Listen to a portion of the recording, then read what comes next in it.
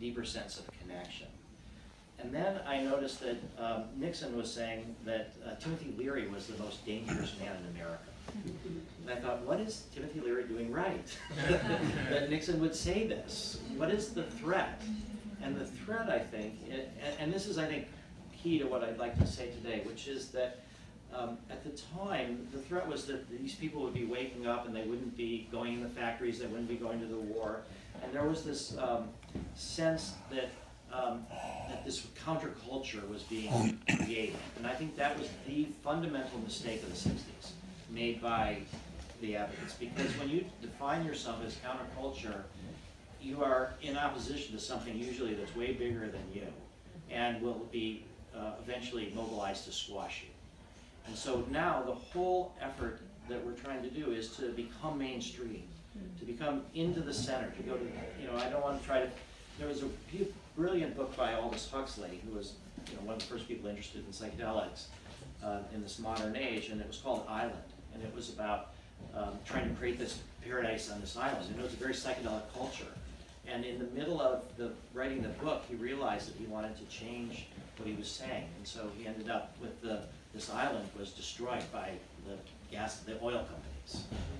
So uh, there is no private utopia. There is no escape. There is no way to go that's safe with global warming, with nuclear weapons. There is no safety other than going into the heart of the system and trying to open it up from out there. So this is what I was sort of sensing at, at age 18. And I started seeing if this kind of um, work is being so suppressed with research with psychedelics, and this whole community um, has been so um, fought against that, that um, I thought as sort of a revolutionary strategy, or as an evolutionary strategy, is what I prefer to say. you know that I, that I would I have the luxury and the freedom and the responsibility to devote myself to some kind of peaceful strategy, and it seemed like bringing back psychedelics would be it. I felt like I needed psychedelic therapy. You know, I, I like so much what you said, Justin, about how even people that are happy and successful suffer an enormous amount. And when you think about how other people, how, how much more they must struggle, struggle and suffer. So I felt like I needed my own therapy. Somehow or other, the world needed this. And so that became my purpose in life from age eight, from 18. And so I just turned 63 on Wednesday, and I, I, just feel so grateful that somehow or other that 18-year-old had an idea that I still think is valid today. and, and so what's been my strategy is I, I basically identified as a counterculture drug-using criminal. and what I wanted to do was become a um, not a criminal, not counterculture, but still keep with the drugs. So the arc of my life has been trying to become legit in that way. Um, and through that process, I ended up uh, sort of have two mentors. One was Stan Grof, who's the world's leading LSD researcher. He's 85 uh, or 86 right now. He developed holotropic breath work through hyperventilation. He's um, he spent 4,000 days sitting with people doing LSD in his career. He was an early researcher in the 1950s with LSD. He actually came to America only because the Russians came into Czech Republic, where he lived, Czechoslovakia, and, and he escaped here to freedom. And he became uh, the head of research at, at, Johns Hopkins, the Maryland Psychiatric Research Center for LSD work, for a couple of years until that got squashed. Um, and then he developed, in a brilliant way, he, he found a way to work with hyperventilation to work, to keep true to psychedelics. A lot of the people in the 60s, um, when the crackdown happened, said, now we need to find non-drug alternatives. And there's a lot of wisdom in that, because really, it's not about the drug, it's about the experience that you have and then trying to integrate it.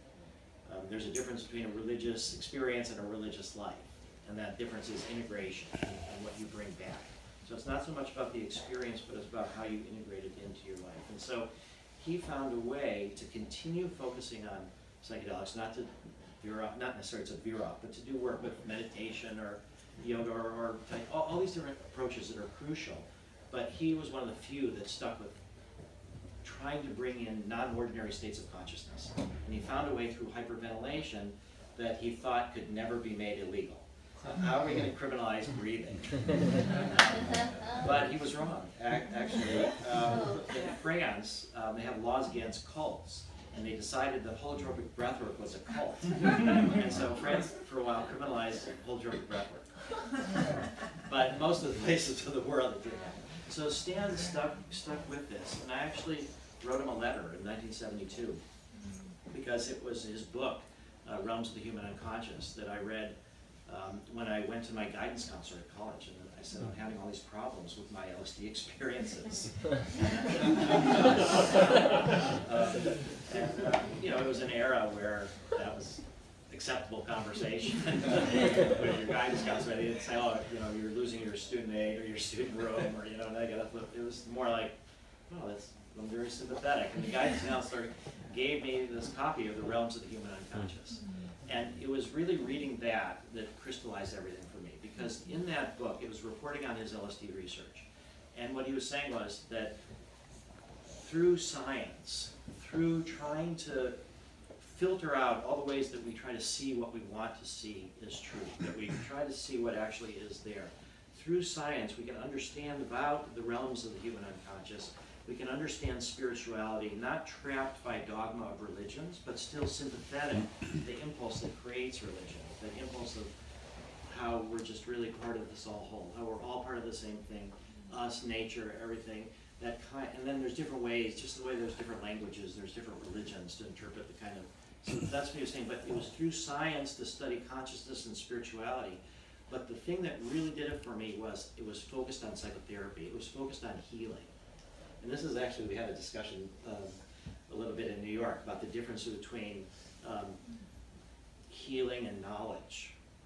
You know, there, there's the sense of um, what he was focused on was not just pure knowledge, trying to understand the brain, but it was like putting it to practical use. And that became the reality test, is how do you use all of these states of consciousness to actually help people have a deeper enjoyment of life, or have the ability to move past trauma, or move past fear of death, or move past addiction.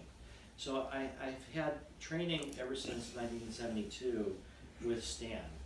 Um, and then once I um, sort of went on the 16-year effort to try to work on my own tripping, to uh, get ready, I dropped out of college for 10 years and built myself up, built houses, got grounded, and then went back to school and started again with Stan in 82, learned about MDMA. Um, and then I wanted to get a clinical psych PhD to understand psychotherapy outcomes. How, how do you actually do research to show that certain kinds of psychotherapies work, and then when you add psychedelics, they work even better? And then I thought through science, through healing, we can move through the sort of suppression of this, these things as identified with the counterculture. But I was unable to get into any graduate schools. This was in the late 80s, and psychedelic research was still squashed. And so I, I was blocked after this long track. And, and so I, I went home and I smoked some pot.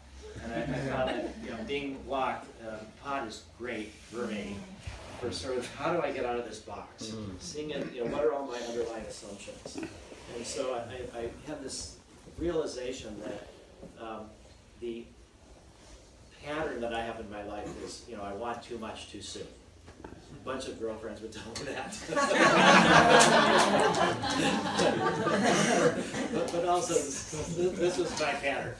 And so I thought, here, I, I want too much. I, I want to do this psychedelic psychotherapy research, but the culture isn't ready for it, and it's being politically suppressed. So I thought, aha, then maybe I should study politics. So I had recalled, and, and I, I sort of skipped over, there was this part where I sued the DEA. With this group of people that uh, was at Esalen, and we were trying to protect MDMA, therapeutic of MDMA. So that started from eighty-four. Uh, eighty-five was the emergency scheduling, eighty-six, we won the case. Uh, but then the DEA rejected the recommendations, and we had to sue them in the appeals courts. And eventually we lost, and MDMA was consigned to Schedule One. So, uh, so I had this sort of political aspect, even though I was studying psychology. And so I thought, okay, I got to switch and study politics. And there was this fellow that had um, an interview in Harper's Magazine about drug policy, Mark Kleiman, and he had talked about um, the lawsuit. And so um, I, I called him up. He was at Harvard at the Kennedy School of Government. And so I said, would you be my mentor? I need to do this, and I have one college credit called suing the DEA. Everybody else is psychology. And so he ended up saying if I could get in, he would be my mentor. So I managed to be the um, affirmative action left-wing hippie of the year that led into the Kennedy School. And, and so I have a master's and PhD from there. And so my, my work is sort of sick public policies Mm. on the one hand and psychotherapy on the other. And, and that's what I've tried to, to integrate. And so what I, I recognize though, back when MDMA was criminalized, is in our cultural context with this dominant system of prohibition, that it seemed like one approach is religious freedom, and we have seen a lot of progress with ayahuasca. Um, and there has been kind of a, this general lack of interest on the police authorities to go after ayahuasca. It's, it's remarkable how far it's spread. Um, but there's only two religions, uh, UDV and the Santo Daime, that are actually legally protected. And the problem is that they're religions, Mm. meaning they have a lot of things that you're questioning, dogma, patriarch, hierarchical, homophobic. You know, so the, the lesson there is culture is more important than the psychedelics. The context is more. The psychedelics are tools, but they are used in certain cultural contexts. They can help you wake up to them, but the culture and the context is really what's, crucial. So religious freedom, I felt, is an important argument, that this early argument that you made, your, your point number one. I mean, it's, it's totally true, but how do you persuade people of that? The other part is, um, if not religious freedom, you know, human rights. I mean, that argument is good and crucial, but that doesn't get you that far either, politically. I mean, it's growing. And, but it felt like in our culture, medicine and healing, that was the way forward. Medicine, healing, and science. So MAPS was an organization I started in 1986, essentially as a nonprofit pharmaceutical company, focused on developing psychedelics and marijuana into medicines. What, what I didn't realize at the time was that no drug had ever been made into a medicine by a nonprofit. Mm-hmm. It's always been for profit. And that didn't change until 1999. And I don't think you'll be surprised when I tell you that the first drug that was ever made into a medicine by a nonprofit was the abortion pill, RU46. Mm-hmm. Because it was a controversial drug, no pharmaceutical company wanted to handle it, all their other products would be boycotted. But it was a combination of the Rockefellers, the Pritzkers, and the Buffetts that supported that. And so I got this thought, okay, there, there can be private support for drug development. Now it's possible for nonprofits to make drugs into a medicine. And all I knew was that I didn't know this would ever work. I didn't know that this would ever succeed, but it always felt like this is what I needed to put my energy into. And so, starting in '86, I started MAPS. It took us um, six years of uh, struggle with the FDA before they first let us do the safety study with MDMA. So we were able to do a um, brief safety study with 29 people, 28 people actually, and um, and we got good results. And so the FDA had a, a change in 1992, and they said we're going to put science over politics when it comes to research with psychedelics and marijuana. And this was some individual people for other reasons. They, they were under pressure for approving drugs more quickly. And so they created this new division inside the FDA to experiment with new approaches. They called it the Pilot Drug Evaluation Staff. And they needed drugs to actually work with.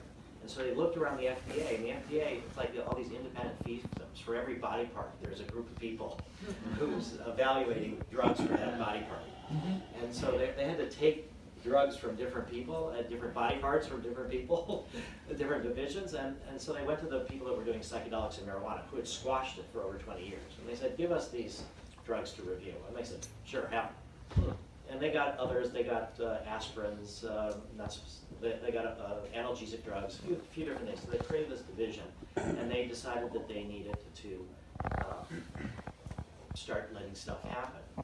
Um, I had a presidential management fellowship, which I managed to get through the Kennedy School. So again, I'm trying to become a little bit more um, mainstream myself. Uh, the important thing to say here is that uh, Jimmy Carter, the first day in office, pardoned all the draft resistors. So that meant that I was no longer a criminal because of that. So that made it so now I could do all sorts of things, whereas before I couldn't. And so what we were able to really finally um, work on, with the FDA, uh, I, I tried to get a job at the FDA, and I almost did. um, Through this presidential management fellowship, the only part was that the DEA refused to work with me, because I wanted to work in the branch of the FDA that deals with Schedule One drugs. So because of that, I ended up not getting hired, and I thought, great, I don't have to wear a suit and tie, I can still do drugs. And my, my girlfriend at the time, who's now my wife, um, she managed to get a job um, doing inner city re- revitalization for the city of Charlotte. So she became the man working for the system, mm-hmm. and, and I kept working on, on MAPS with people from the inside of the FDA saying that they would help informally to try to help, help us bring protocols to them. Because FDA is a reactive agency. They don't generate research, they review research by others. So we finally managed to complete the safety study in the end of the nineties. And then, starting in in, starting in two thousand, actually, I was approached by uh, Dr. Michael Mithoefer, who was an expert psychiatrist. He was part of the breathwork community, trained by Stan. He'd been a member of MAPS for years, but I didn't know him. And he had had a friend, uh, a patient actually, who was addicted to opiates. And the patient went down to St. Kitts to do Ibogaine, in an Ibogaine clinic in St. Kitts. And Michael said the only condition is that he, he would let this patient do that, but he would go along. Um, so he went along and um, he saw this treatment and it was pretty helpful. So then Michael came to me at a ayahuasca conference actually in 2000 here in San Francisco. It was the first big conference on ayahuasca organized by Ralph Metzner. And what, um, what he said was, let's do an offshore clinic for MDMA, for other psychedelics. And I said, I am absolutely not interested in that at all. Because it's not about finding some little safety out somewhere else. It's about going to the heart of the system. So I said, let's try to get permission for MDMA for PTSD. And he said, all right, he signed on to that. So from 2000 to uh, just a few weeks ago, um, we've been engaged in what's called phase two pilot research with psychedelics, with MDMA for PTSD. Um, and so we've had studies in Israel, studies in Switzerland, studies in the United States, studies in Canada. These are small pilot studies that you end up trying to um, understand how it works, who's your patient population, who's it for, what are your exclusion criteria, what are the doses, what are your measures, various things like that. So we kind of got all of that um, learning, and we've appealed to the FDA in what's called an end of phase two meeting about the, the move to phase three. And phase three are the definitive studies that are used to prove safety and efficacy before you can make a drug into a medicine. It's, it's sort of the, it's like the big leagues. You know, you've got pilot studies and then you move to the big leagues. So we had this meeting on the 29th, which I'll, I'll tell you about. But I just want to also mention that we've done work on marijuana. Um, there was political suppression of marijuana research, so marijuana has been used by a lot of veterans and others for PTSD, so we have the first uh, marijuana study. Um, we got uh, $2.1 million from the state of Colorado from all of their marijuana taxes. um, and it's um, going to start at Johns Hopkins and in uh, Phoenix, Arizona. Marijuana for PTSD is good. It's a palliative treatment, helps people not have nightmares, helps focus them on the present, but it doesn't cure the problem. And people with PTSD, if they smoke marijuana, they tend to smoke it every day. It's a chronic drug that reduces symptoms. And when I described this to the FDA when we had a teleconference to approve that study, I said our priority is MDMA because it offers the potential to cure. And what they said was, um, but but MDMA, but marijuana is important. And the, the head of the FDA Division of Psychiatric Products, who's now our consultant, but what he said was, Rick, you don't need to apologize for just treating symptoms. He said in psychiatry, that's about all we do. So we, we are working with Ibogaine, we've done observational studies with Ibogaine, and we have um, projects with psychedelic harm reduction that we do at Burning Man and, and elsewhere at festivals around the world, trying to model a post-prohibition world. Because if we talk about how these drugs are for healing, but they're also, we need this broad-based spirituality so people don't demonize the other and don't fall victim to the fears and the people that, you know, say we can't let in any Syrian refugees or we can't do anything like this. We, we need broad-based spirituality because the problem is not Trump. The problem is, you know, the people that are voting for him. And you can't, it's not about the leader, it's about how is it that those messages can resonate with so many people. So that's why for me, it's always been both doing research to make a drug into a medicine, but also working on trying to end prohibition. So that those of us that don't have a clinical diagnosis Uh, and last night, a psychiatrist that I talked, uh, who, who we're working with, he said it's easy to give a diagnosis. Hmm. You know, everybody you can have, but it's kind of you're fudging the system in a way. So really, it has to go beyond medicine into legalization, and it has to do that in a way where we're being responsible. Because there's a lot of people at Burning Man and elsewhere that have difficult psychedelic trips and end up worse off than before. You know, if you don't have support, if stuff difficult comes up, and you try to suppress it, you could end up worse for weeks or months or years. It's about bringing things to the surface in a way where you can handle them, and then you can reorganize how you think about them. You can reorganize even brain circuits. We're doing research with fMRI scans of PTSD patients before and after treatment and showing reductions of activity in the fear centers of the brain and the amygdala. So it, there's a lot that needs to be done both in medicine but also in, in the broader world and trying to help people at festivals to integrate what happens and then show that we can have these ceremonial, recreational, celebratory uses and we can do it in a safe way. So this year, Burning Man finally, for the first time, said we could let everybody know that we were there. Mm-hmm. And we said we were doing psychedelic harm reduction. We had 480 people during the course of the week come to Zendo services. We had hundreds of volunteers helping out. So we're doing a lot of different things, but but the, the key thing, and through, I'll just say through Bryce and through social media and through all the communication that we're doing, you know, it's about the research, but it's really about communicating to the public what we're doing. And so our top priority is MDMA-assisted psychotherapy for PTSD. We have a study with MDMA for autistic adults with social anxiety, a study with MDMA for people who have life-threatening illnesses, they're scared of dying. Um, we're working with the Veterans Administration therapists uh, for a couples therapy study where one member of the couple has PTSD and it affects the relationship. So through all of this though, for strategic reasons, MDMA is the most gentle of all the psychedelics. It's the, um, it's the most inherently therapeutic of all the psychedelics. Loads of people are telling us now they've read our treatment manual that describes our therapy on the website and they've gone and found MDMA on the, their own and they've done it with friends and now they feel better. So we're, we're not trying to say it's always got to be done in these supervised ways, that, that people can heal themselves a lot. And sort of the, the, demo, the democratization of psychedelic psychotherapy. So the top priority, MDMA is the most gentle psychedelic. Um, people can tend not to have these ego dissolution experiences, so it's not as fearful. And also, we have to be treating people that are not like remnants from the 60s. This, these are not um, just for aging hippies. You know, we have to so what does our current society, who do they value?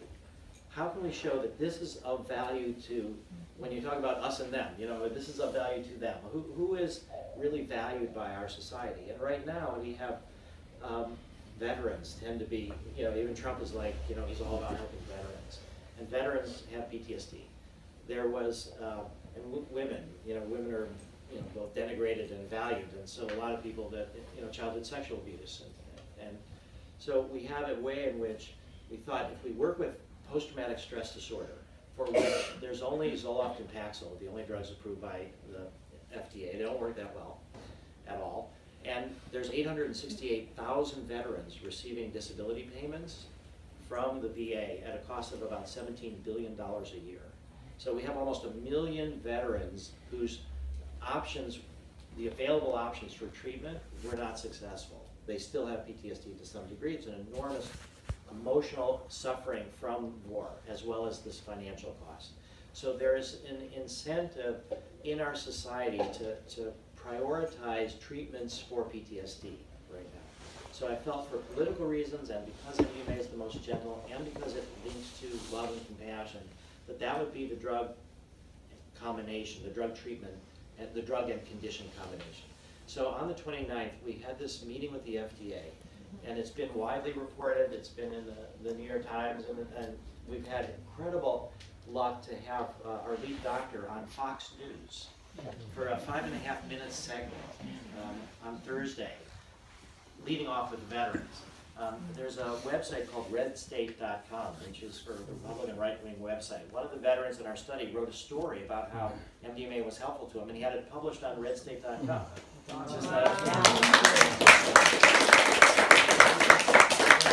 And, and- and so I, I think we can generate bipartisan support for this. And at the FDA meeting, um, they, they said um, several different things. The- the- What they fundamentally said was that you have done enough research now with 107 patients with PTSD. You've learned enough about mm-hmm. different doses, how you're doing it, that now you can go to phase three. This was probably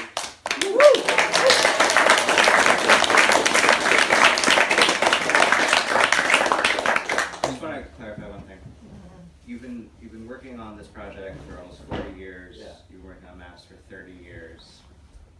And last week, you got permission to start the final phase.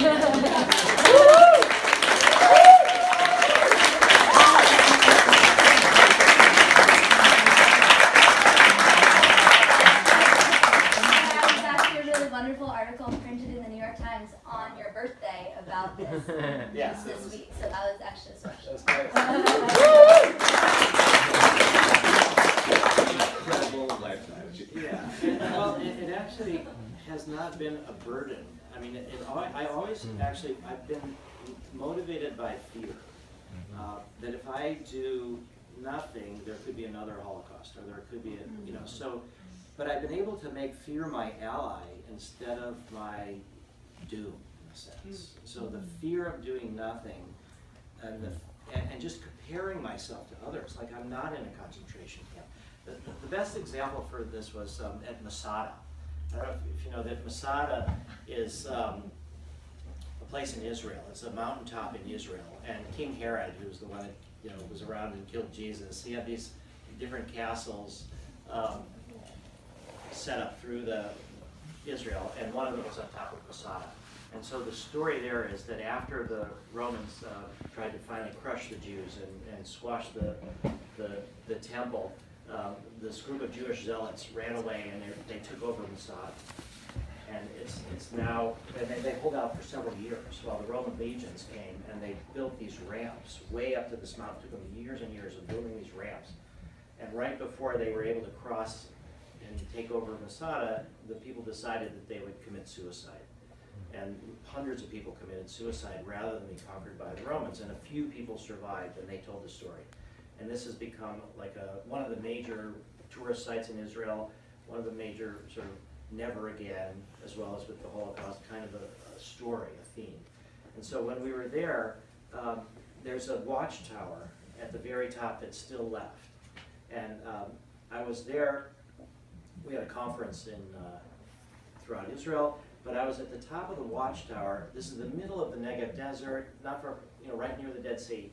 And so I just went up to the watchtower and I just thought, I wonder if I get cell phone reception.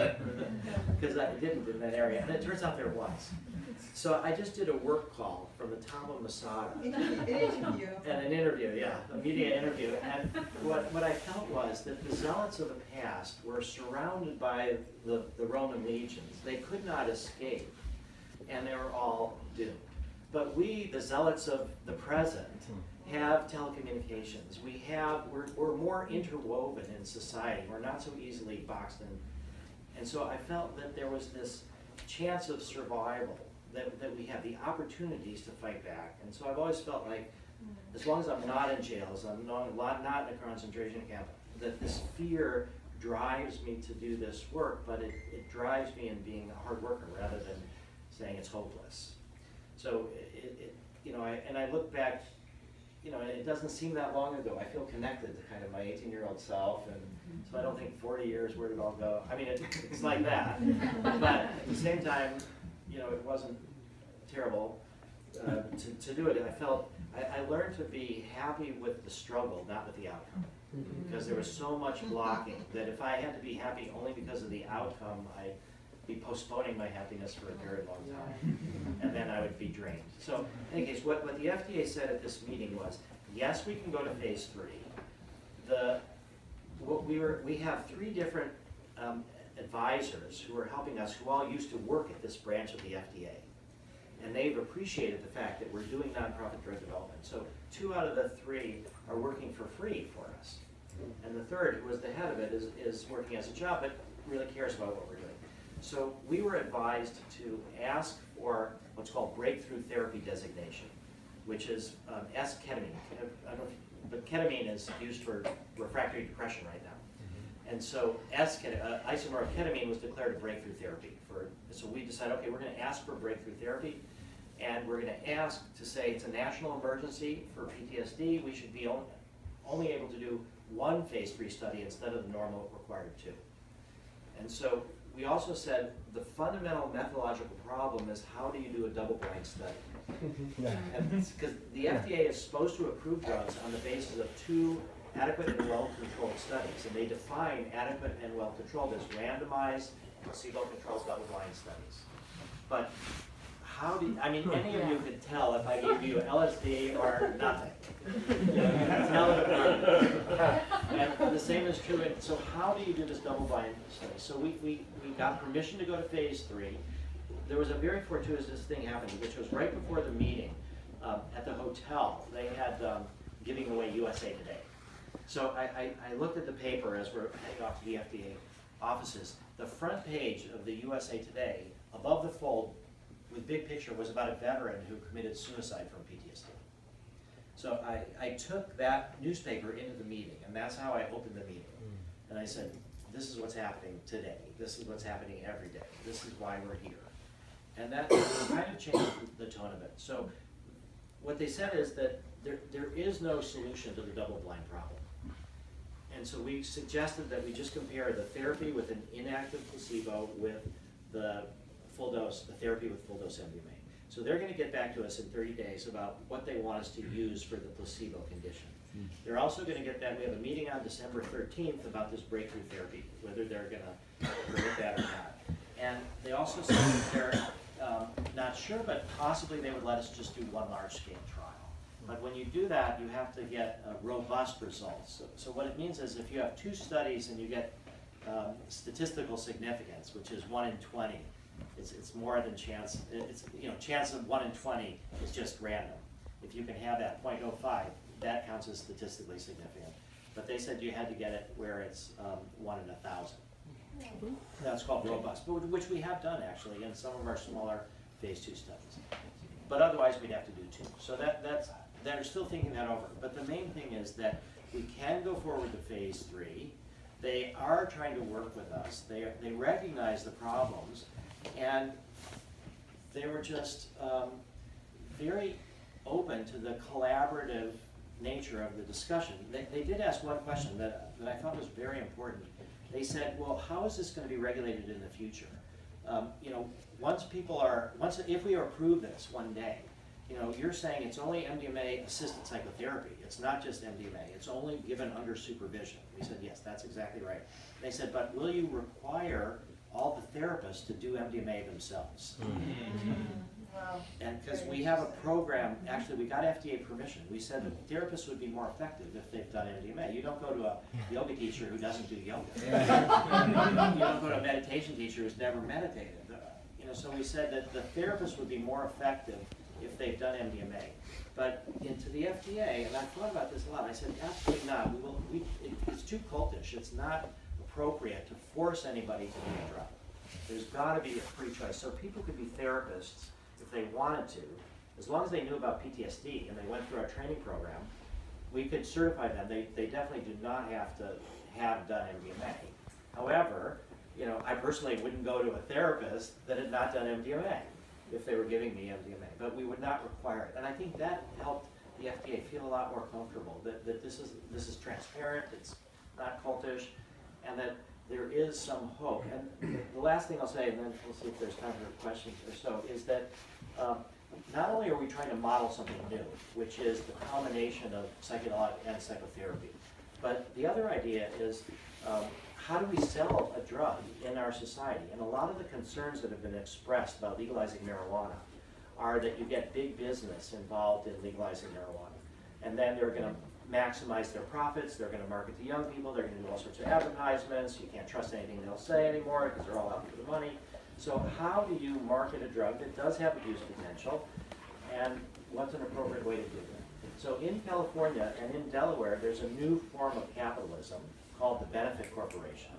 And there's several thousand benefit corporations. And what they are is a legal structure where you maximize social benefit rather than maximize profit. And so MAPS has created a benefit corporation that's wholly owned by the nonprofit. So there's no investors. People make donations to MAPS. We give the money to the, um, the benefit corporation. The benefit corporation does the research, and the benefit corporation will sell MDMA once it's a medicine, and that will be, will pay taxes. And the idea is that instead of us constantly asking people for money for donations, one day we're the rare nonprofit that has a product that we're trying to have at the other end. And the actual service, MDMA assisted psychotherapy for PTSD, it's almost entirely therapists' time working with people. So the, the expense of it is be for paying therapists. The cost of the drug is pretty trivial. So if it's twenty-five dollars or fifty dollars or hundred fifty dollars for the drug, it doesn't really matter that much to the, to the patients, particularly if we get it covered by insurance. So we've created this benefit corporation, and, and we hope that once we make MDMA into a medicine, we'll be able to generate income from the sale of MDMA that then we can put into more research. So that, that's kind of what I'm sharing, is that we, we have what looks to be a twenty-five to thirty million dollar cost for phase three. Um, There's certain some, we'll be refining that, but it definitely doesn't look more than that, and it could possibly be a little bit less than that. And of that, we already have about eleven million from bequests or from uh, Dr. Bronner's, uh, David Bronner from Bronner Soaps, he's pledged a million a year for five years. So we, we have a good start, and the other thing is that we don't need it all right away. Because it's multiple years that it's gonna take us. We're currently on this trajectory of having MDMA approved by the FDA in twenty twenty-one. So we've got another five years to go. Um, you know, we have a year-end campaign that's trying to raise, um, the four hundred thousand dollars to buy a legal kilogram of MDMA. Um, this, And the challenge grant, yeah, and the challenge grant happening right now. yeah, yeah, so of, of that, we've already raised two hundred thirty thousand, so we're just trying to raise hundred and seventy. And then we've already gotten, um, Justin did a a great, it gave a fifteen thousand dollar matching grant.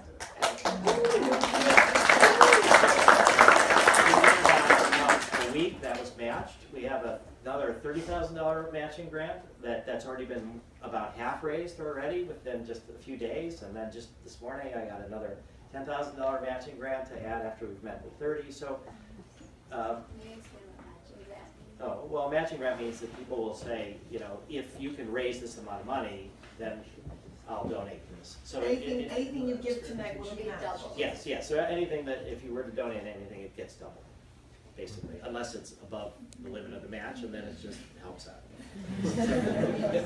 Yeah, so, uh, so that's, well, well, let me just see if there's, there's a little bit of questions. So, so that's basically what we're at, and, and it's been, um, the first time in fifty years, really, that we have, as a culture, the opportunity to medicalize a psychedelic. And for people who are interested in, in the field of being a psychedelic therapist, or being, um, in some ways, running a psychedelic clinic, or being uh, psychedelic neuroscience, it's the first time in fifty years that people could, young people could say, I want a career in this area, and it could actually come true. Mm-hmm. So we're. Jobs. Yeah, yeah, yeah, it's a jobs program. Instead of And the it, and it deals with despair, and it deals with fear and pain. So, so that's where we're at, and that's, that's the moment that we're at now. So it's, it's a very delicate moment, and the, the position of the Trump administration on this research is unclear. Um, my, I spoke to my wife right before I, I came here, and she was just saying how the person who was appointed head of Health and Human Services, which actually is over the FDA, that there was a commentary that the person who was Price, uh, congressman, I think, um, the, the critique was that he doesn't believe in the H, the H, or the S. So it is a challenge, but I think through this um, approach through the veterans, through the strategy, through the outreach to realestate.com and the outreach to Fox, it seems like there is um, an- a real opportunity to go through. So I think we need to seize the opportunity while we have it and move as quickly as we can into phase three, and that's what our plans are. And I'm gonna seize this opportunity. Um, and we'll just take two questions. Um, Wait, can we pass the, the pledge form But before we take questions, I just wanted to let everyone know that we do have forms that you can fill out if you're interested in giving tonight. As we mentioned, all donations tonight will be matched two to one. Wow.